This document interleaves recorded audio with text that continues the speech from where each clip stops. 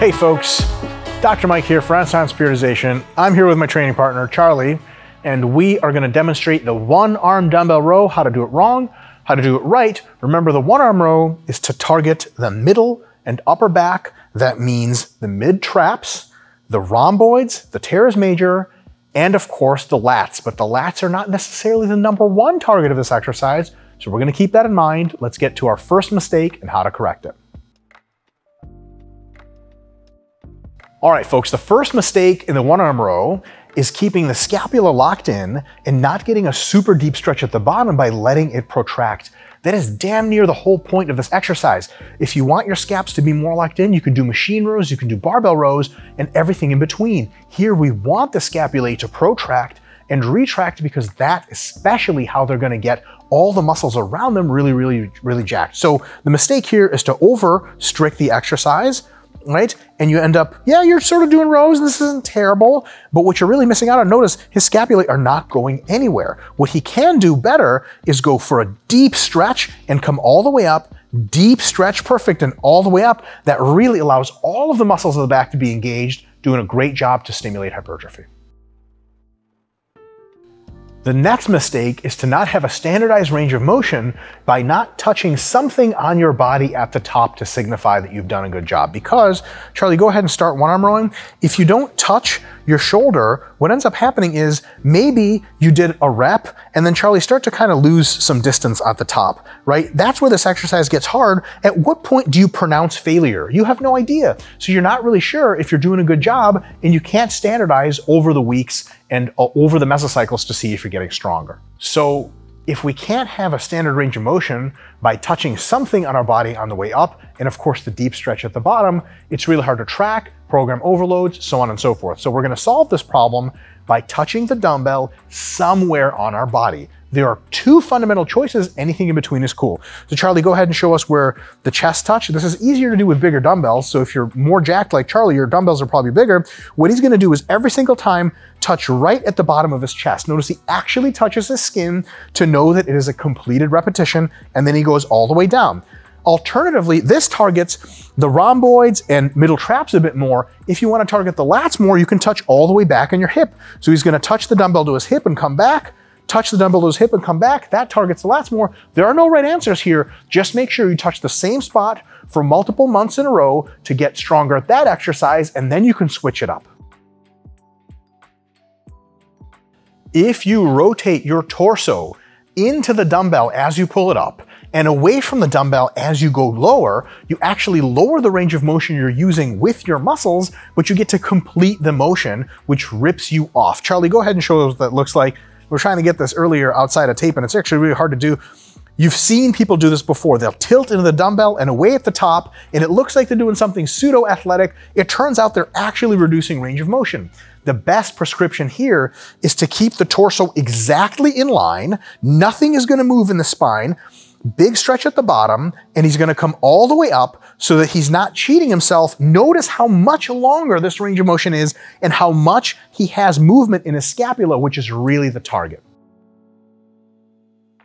The eccentric phase lengthening contractions on the way down are very hypertrophic. They're part of the puzzle. You don't want to rip yourself off by dropping the dumbbell really fast and then putting on the pressure to pull it. You want to slowly lower it anywhere between sort of one and five seconds if you really want, it depends on how you like to do it. Something like a two second eccentric is probably best for most cases, but feel free to vary. At the end of the day, control the weight. So what you don't wanna do is this, especially when the weight gets heavy, it's tempting to put on the juice on the way up and then let it drop on the bottom. Yeah, there's some injury risk, but really you're just ripping yourself off because you're not letting your muscles work under tension with the stretch. However, the right way to do it is to come up and then to milk it on the way down and come up and notice he's not doing like five seconds or some crazy stuff, but his back is working on both phases of movement, getting him ultimate results.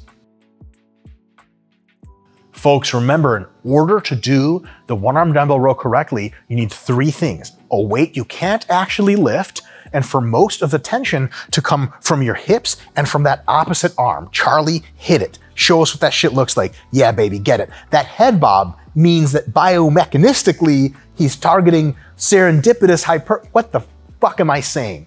Folks, don't do that kind of crap. What you wanna do is stay very stable, control the eccentric, big stretch, touch at the top, no swinging, no BS. You cannot cheat hypertrophy. It's impossible because the tension to the muscle is the only thing that matters. And the way you get that is with strict technique. You can write in whatever kind of reps. I did 20 reps with the 200s. Bullshit. Your muscles don't believe you. Pick a realistic weight you can do and do it correct like Charlie's about to show. No bullshit movement in that arm, no hip swing. He's going to be controlling it the entire time. Good news is you don't have to roll out the 150s. Bad news, no one's going to be impressed with the arm rows. Further good news, no one's ever impressed with their arm rows. It doesn't matter. People are super impressed with huge backs. That's how kings inherit kingdoms. They used to compare people's backs and the king with the, you guys know what I'm saying. King Ronnie Coleman has the biggest back ever. If you want a back like him, don't swing around too much. Stay strict, stay safe, do the right thing, and don't let your ego get ahead of your muscles. Next mistake is going too heavy or too light on one arm rows. The cool thing about one arm rows is there's really no such thing as too heavy. A lot of times that super deep, powerful stretch in sets of five to 10 reps, as long as they're strict, is really what you need. And a lot of times because you're supported on a bench, the erector spinae muscles are not limiting you anymore. And it's even better than barbell bent rows for doing ultra heavy weights, totally fine. You can go up all the way to 30 rep sets, anywhere from 20 to 30, that's totally cool. The thing is, machines that are bilateral with a chest support usually do that a little bit better, so I would save the machines for that. Fundamentally, any rep range is good for this exercise. 5 to 10 is probably really good. 10 to 15 is really awesome range I personally like for this. 15 to 20 is totally fine. 20 to 30 is technically okay, but you might want to save that for other machines and other exercises. One arm rows can be an exercise you get to use a lot of weight in because you're in such a powerful position and you get to preload with that uh, eccentric and everything, right? You don't want your grip to limit you. This is huge.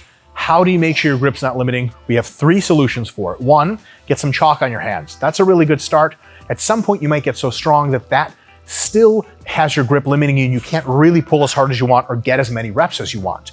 Straps are really, really awesome. You can cinch them in super tight, wrap your hand around, and then you're good to go. Of course, the best invention of all time. It's like number two is the computer, number three is the space satellite, number one is the VersaGrip. Folks, VersaGrips, buy them and try them.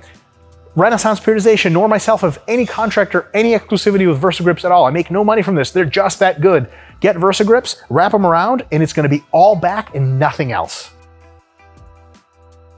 Lastly, big mistake is to essentially think there's one perfect technique for one arm rows, not making the individual adjustments to feel the muscles the most. For example, you can do one arm rows in the traditional fashion where you go all the way down for the stretch and you come sort of mid-range and sort of touch your ribs. That's cool too. What's also totally fine is if you come up all the way up here in front, it hits different muscles, a bit more upper back than lower. There are no right answers here.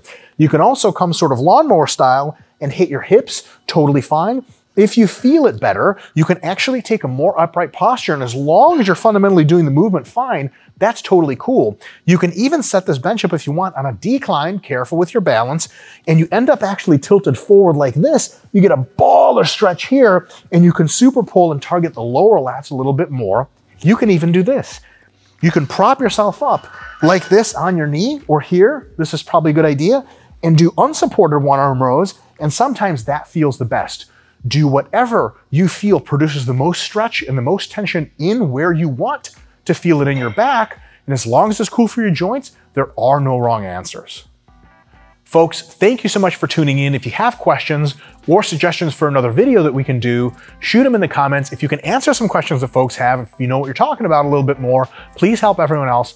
Thank you. Uh, send this video to friends you think are one arm rowing wrong with a polite message and uh, like, subscribe, and all that other stuff. See you next time for the next technique video.